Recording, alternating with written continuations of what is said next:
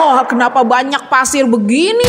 Mobil Stargazer ini taunya habis dipakai buat jalan-jalan, guys. Dan dia nggak sadar kalau di bawah karpet dasarnya banyak banget pasir-pasir gitu yang membuat nggak nyaman. Karpet sebelumnya bahannya gini dan harus divakum ngebersihinnya. Tanpa pikir panjang, langsung aja dia pesen di kita karena bisa dibersihin pakai sapu biasa dan bisa dielap kalau ketumpahan air. Dan ini hasilnya.